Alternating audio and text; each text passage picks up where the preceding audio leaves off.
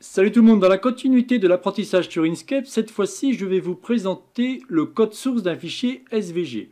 Alors se dire mais qu'est-ce que c'est que ce truc là bah, Quand vous enregistrez un fichier, imaginons je vais faire n'importe quoi, je fais ça, je vais prendre ici par exemple, je fais quelque chose comme ça, quelque chose comme ça, je fais vraiment n'importe quoi. Hein. Là je vais faire un truc comme ça, voilà, je pourrais même changer la couleur histoire que ce soit plus cool. Et puis d'un seul coup je vais vouloir enregistrer celui-ci, je vais dans, dans fichier, enregistrer sous, et là, je vais pouvoir enregistrer mon fichier. Vous voyez ici qu'on est en SVG. Vous avez aussi du SVG simple, du SVG compressé, du SVG, différents types de, compressage, oui c'est ça. Ou alors il est aussi carrément optimisé. on a différents types de SVG. On va prendre le premier qui est le SVG Inkscape. Si je clique ici sur enregistrer, je vais donc pouvoir après récupérer le code source de celui-ci. Alors ce que je vais faire en premier, c'est que je vais vous montrer par rapport à une page blanche ce que ça donne, pour qu'au moins vous puissiez voir ce qui se passe. Donc là, je vais enlever tout ça. C'est très utile, par exemple, ce genre de technique va être très utile pour pouvoir après implémenter celui-ci ou implanter celui-ci dans une page web. Si vous êtes en train de coder, euh, dans le cas par exemple d'une image, si vous récupérez une image de type bitmap, ce qu'on appelle matriciel, vous utilisez par exemple le logiciel GIMP ou Photoshop pour pouvoir éditer euh, ce logo ou cette image, bah, celui-ci va être pixelisé. Vous savez très bien maintenant que si je prends le cas, par exemple, le rond, si je fais quelque chose comme ça, je vais carrément hop, éditer un peu celui-ci. Alors, s'il veut bien, avant, il faut que je fasse objet, alors, euh, objet en chemin, voilà, pardon. Donc je double-clique, je crée une forme comme ça. Je fais n'importe quoi, bien entendu. Hein. Ce qui m'intéresse de vous montrer, c'est que cette forme, là, si je zoome dessus, on va pouvoir zoomer un maximum. On aura toujours des formes très belles, très propres, très euh, affinées. Pourquoi? Parce qu'on est en vectoriel. Et le vectoriel, comme vous le savez, ce sont des formules mathématiques, ce qui permet d'avoir des superbes formes. En l'occurrence, on va utiliser ce qu'on appelle les courbes de Bézier. Mais ce qui m'intéresserait de voir, moi, c'est qu'est-ce qui se passe par rapport à ce SVG, puisque ce SVG va pouvoir donc être récupéré dans le cas par exemple d'une page web Imaginons maintenant, vous savez qu'au niveau des écrans, on a de plus en plus des écrans de plus en plus grands. Alors, si on a un téléphone, pas de souci, mais si d'un seul coup, ce, logo que j'ai là, je voudrais le mettre sur un écran d'ordinateur, donc en 16 neuvième, de plus en plus grand, style un 40 pouces, et puis d'un seul coup, en fait compte, pour X raisons, euh, vous voulez mettre sur un écran de cinéma. Eh bien, si c'est une image qui est pixelisée, ça va être très compliqué. Ce qui est vraiment génial avec le SVG, c'est que celui-ci va se comporter, que cela soit en grand ou en tout petit, on aura exactement la même qualité. Et ça, c'est vraiment génial. Et donc, là où je veux en venir, c'est que vous allez pouvoir implanter celui-ci dans un fichier HTML. Ce serait plutôt utilisé pour les développeurs ou les choses comme ça. Je supprime cet élément-là et on va venir maintenant sur ce qu'on appelle un éditeur. Avant cela, je vais vous présenter ce qu'on appelle un IDE. Un IDE, c'est quoi? C'est un logiciel. Ça peut être par exemple Atom, ça pourrait être Sublime Text, ça pourrait être Notepad++, moi, ce que je vais utiliser, c'est Visual Studio Code, et celui-ci va me permettre de voir le code de mon fichier SVG, et surtout, ce qui va m'intéresser, c'est de vous montrer eh ben, tout ce qu'il y a dedans, pour que vous puissiez un peu comprendre. Vous pouvez voir une chose, c'est que ce que je vous dis là, en fin de compte, vous allez le retrouver, alors je crois que c'est ici, alors non, perdu, c'est ici, voilà. Vous avez déjà du, du, SVG ici, vous voyez, on a des balises, ouverture de balises, fermeture et ainsi de suite. Mais on ne voit pas trop de choses. On peut, même si on veut, enlever les attributs, c'est quand je vais cliquer ici, vous voyez différents attributs. Moi, ce qui m'intéresse de vous montrer, c'est le code pur. Et qu'est-ce qu'on pourrait faire avec? Bah, Dans le cas d'une page web ou de la programmation web, c'est vraiment génial, c'est qu'on peut carrément, on pourrait carrément faire des espèces de petits dessins avec des animations et ainsi de suite. C'est ce que je vous disais par rapport à Inkscape. Alors avant toute chose, comme vous le savez, le Scalable Vector Graphics, ça vous explique que c'est un format de données ASCII. Donc pour décrire des ensembles de graphiques vectoriels. C'est bien ce que je vous disais tout à l'heure. Vous voyez, on a la page Wikipédia. Si je viens ici, vous avez aussi euh, très, page très intéressante pour avoir des informations. Vous avez euh, développeur mozilla.org. Super intéressant quand vous voulez apprendre des choses. Alors tout dépend effectivement de ce que vous cherchez à faire. Après, je vous parlais donc d'un IDE. Qu'est-ce que c'est qu'un IDE C'est un environnement de développement intégré. Comme il vous dit ici, IDE. Alors, je préfère un peu vous montrer avant les choses pour que vous ne soyez pas perdu ici. si par hasard vous êtes dans le graphisme et que le graphisme, j'ai beaucoup de personnes qui travaillent beaucoup avec des CNC, donc c'est pour faire des découpes en bois ou des choses comme ça. Évidemment, ça peut être un peu perturbant. Mais je veux juste vous montrer que euh, ce fameux fichier, on va pouvoir l'exploiter. Bon, bon, je vous fais pas plus attendre et on y va. Donc là, on est sur mon IDE qui s'appelle Visual Studio Code.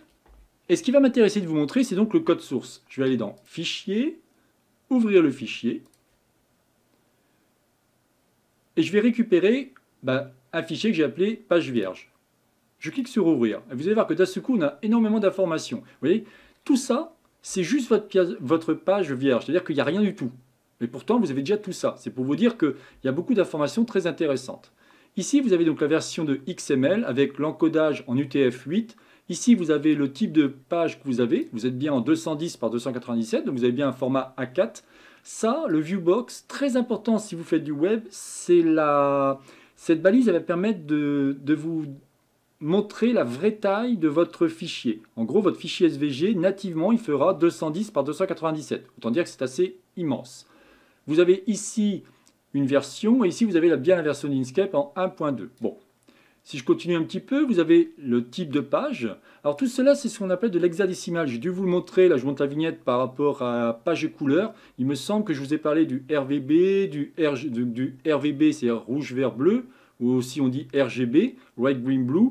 Je vous ai parlé donc du TSL, du TSV et de l'hexadécimal. Eh bien c'est ça. Vous voyez, à chaque fois, ici, on a une bordure pareil, donc une bordure en hexadécimal, on a ici une opacité, et ainsi de suite. Tous ces paramètres-là peuvent être modifiés.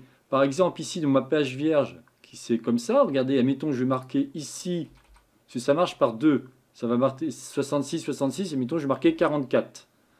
Et là, histoire de faire les choses différemment, je vais marquer ici euh, 2C. Je vais enregistrer celui-ci. CTRL S, et je vais revenir sur Inkscape, pour que vous puissiez voir un peu ce qui se passe. Je ne vais pas aller plus loin, peut-être faire autre chose. Show gris, vous voyez que là pour l'instant c'est false, ça veut dire que c'est c'est pas noté.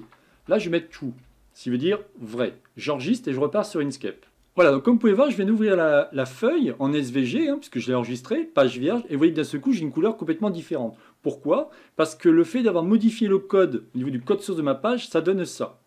Donc tout ça pour vous dire que quoi que vous allez faire, automatiquement, ça va donner ça. Alors moi, ce que je vais faire, c'est que je vais le remettre en blanc, parce que c'est assez violent. Alors, pour la page, il faut aller dans Édition. Non, pardon, c'était dans Propriété du document. Et je vais lui demander une couleur plutôt blanche, parce que là, c'est assez violent. Vous voyez ce que je vous disais? On retrouve bien ici le fameux hexadécimal. C'est ça que je voulais vous expliquer. Je vais mettre en comme ça. Et moi, je vais mettre plutôt en blanc. ça fait moins mal aux yeux déjà. Hein. J'enregistre celui-ci. Alors, fichier enregistré. Ce que je vais faire maintenant, c'est que je vais prendre par exemple un rond, juste un rond, hein, on va pas faire grand chose. Je vais faire CTRL SHIFT. Alors évidemment il est en blanc, on met du bleu. Voilà, parfait. Juste ça. Ici je vais faire fichier, enregistrer sous, et je vais l'appeler par exemple page vierge M00. Je fais enregistrer. Je remplace mon fichier, je vais maintenant l'ouvrir au niveau de l'éditeur. Voilà, donc je viens d'ouvrir la page, la nouvelle page, toujours SVG, vous le voyez bien ici. Hein. Alors c'est pareil, l'intérêt d'utiliser un éditeur de type IDE, c'est que vous aurez une couleur syntaxique, vous aurez une, indentation, c'est-à-dire qu'ici vous aurez des espaces qui vont, vous voyez, ils vont, ils vont faire en sorte de bien vous montrer ce qui se passe dans les balises. Et vous allez retrouver votre élément ici. En l'occurrence, le G, ça veut dire que c'est un groupe. Celui-ci se comporte bien dans un groupe. Dans ce groupe, qu'est-ce que j'ai? J'ai dans un calque, ça je vous l'ai expliqué, hein. Celui-ci est marqué layer, et vous avez bien le nom du, calque, donc l'ID du calque, ça je ne vous ai pas encore parlé des ID sur Inkscape, mais ce qui est très intéressant, c'est toutes ces informations-là. Il va vous donner donc un ID par rapport au chemin, rappelez-vous que ce sont des courbes de Bézier, et ça crée différents éléments. Vous avez l'emplacement en, X et en Y, puisqu'on est quand même sur euh, deux axes. Hein. Nous sommes en, on, va appeler ça une vue orthogonale, ou une vue orthonormée si vous préférez, donc sur deux axes, X, Y, et on a un rayon de 21. Vous voyez, toutes ces informations-là apparaissent ici. Imaginons que je veux changer, je reviens sur ce que je vous disais tout à l'heure, là ça va être plus flagrant. Ici je vais marquer juste, mettons 50, quelque chose d'assez gros. Là, vous voyez, fill. Fill, ça veut dire remplissage. Donc lui va être rempli comme ça. Imaginons à cet endroit-là, je vais mettre FF. Vous avez ici stroke width, c'est la largeur de, mon trait.